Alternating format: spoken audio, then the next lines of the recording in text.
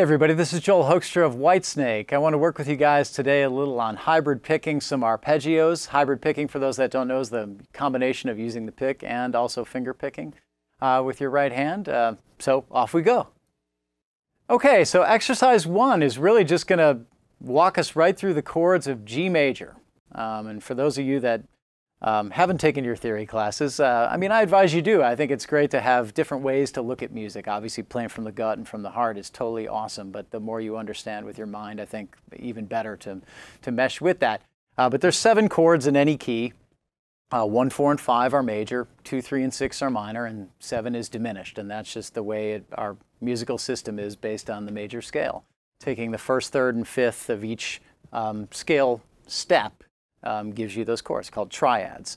Uh, so anyway, uh, I'm going to start out with most a shape most of you are familiar with here, uh, just a G major chord, like a bar chord. Okay, um, I just want to work on to get the hybrid picking going, um, and really this is almost more for your right hand than it is the left hand. Um, I just want to start with the pick on the low G, using my middle finger for that next string, my third to get that D string, and then my mm. pinky to get the top note. That's usually the hardest for people. Sometimes you got to spend a little time just working on building up the strength with that, okay? So it's just right up, okay? And then A minor, B minor, C, D, E minor, and F sharp diminished. Oh, I think we ended it here in the magazine. Okay, so uh, with the minor chords, it's interesting to note that my left hand is kind of taking the first finger and skipping over to get that rather than barring. Obviously with high gain, you want to break it up. If it was a clean thing, you know, you could definitely just hold a chord down and work with your right hand.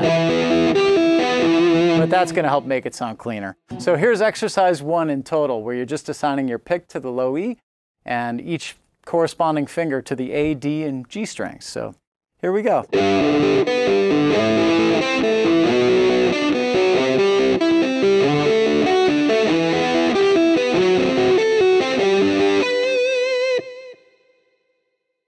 Okay, so that's a great place to start to just get your right hand going, uh, especially to be able to build up the pinky, which is a little tricky for most people.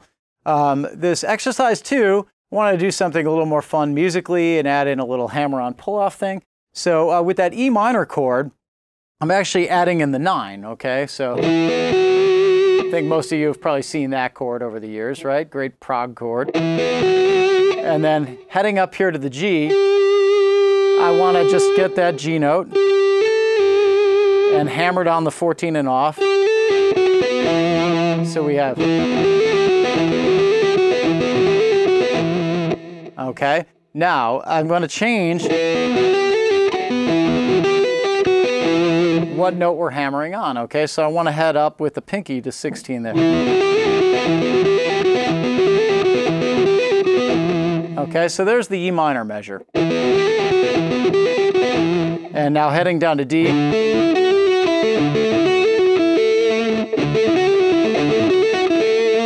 we're heading with starting out exactly the same, just that one, five, nine in terms of the intervals. There's the major third. You're hammering on the fourth. And back down.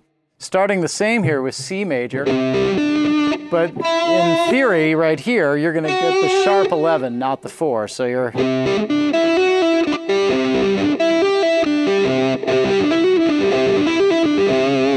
And instead of just playing a B minor, which in terms of the straight theory would be there, uh, the most replaced chord in E minor is, of course, turning B minor into B major, which I did here. So instead of starting off with a 9, which would not be in key, it's a flat 9.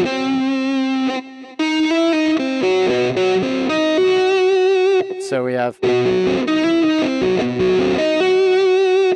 So all in all with exercise 2, it sounds something like this.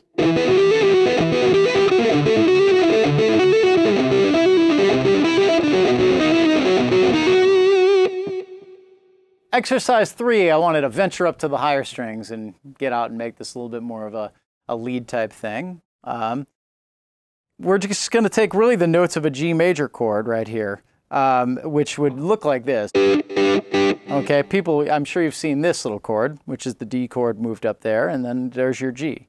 Okay, just so you can get a visual on what we're working with here. So left hand wise, I'm going to start like this, and we're going to shift the pinky over when it comes time to get that eighth fret on the B. Okay, if that makes sense. So again, assigning the, the pick and the three fingers, you've got the pick on the D, the middle finger on the G, third finger on any notes that happen on the B string, and the pinky on any notes that are happening on the high E.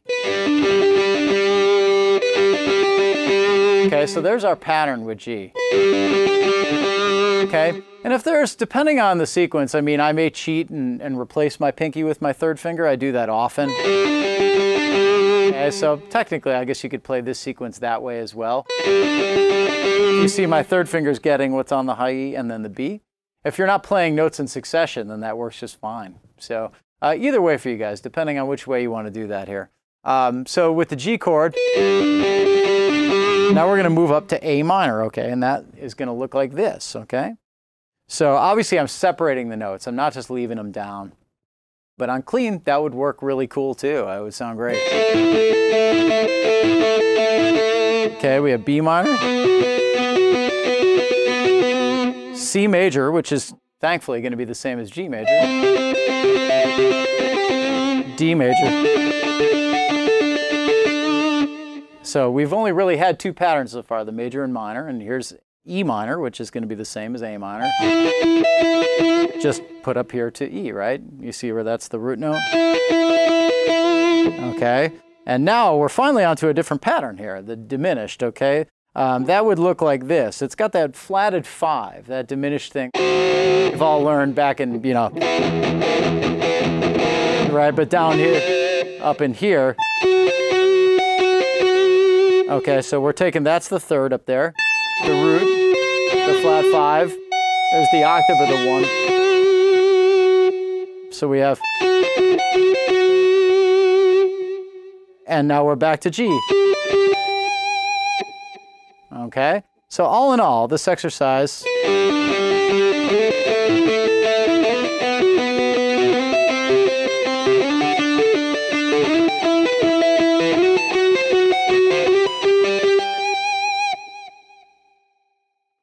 And here it is a little faster.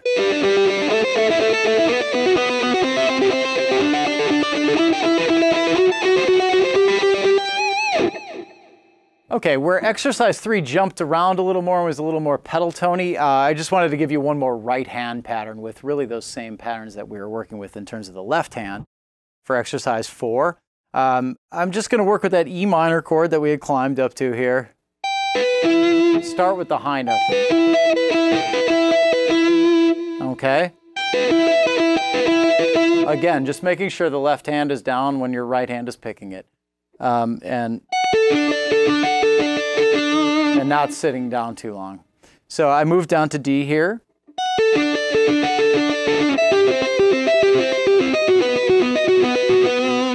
And then B.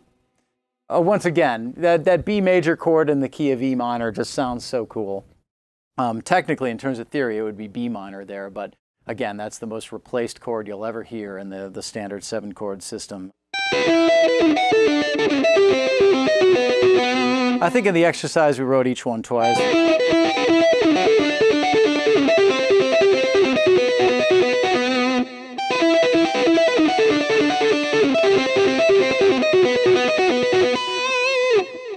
All right, so exercise five, I just wanted to give you something, again, like we did in exercise two, where you add a little hammer-on and pull-off thing leading into it. Um, it's going to change up in terms of the left hand here.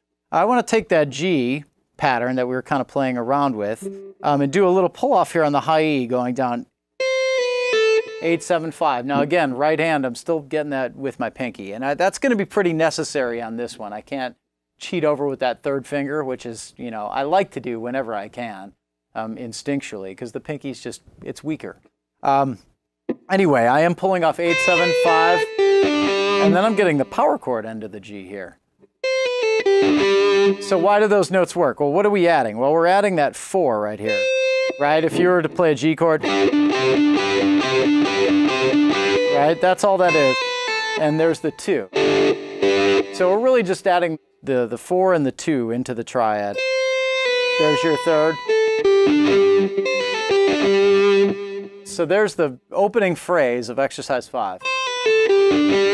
Now I just want to change the top note from the four to the five. Okay, so we have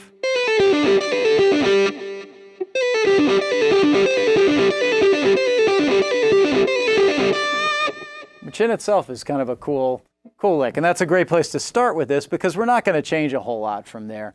Um, when we move up to C, the only difference is, once again, uh, in terms of the notes of G major, uh, the 4 is not in key. The sharp 11 is. 11 is really the same thing as 4. For um, those that haven't done the interval thing, um, my apologies. But um, uh, it's really just indicates that it's like take go up to the 11th note of a major scale and sharp it. That's what I'm referring to. So, so instead of this, that would not be in key in G major. So we're doing the Lydian thing here. And then I'm changing that top note to the, the fifth. So here's what we have for the C section of this exercise.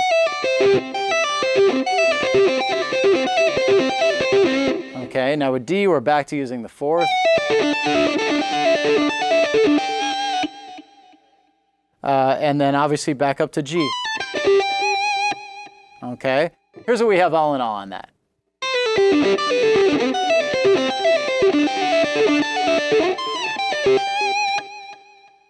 And a little more up to speed.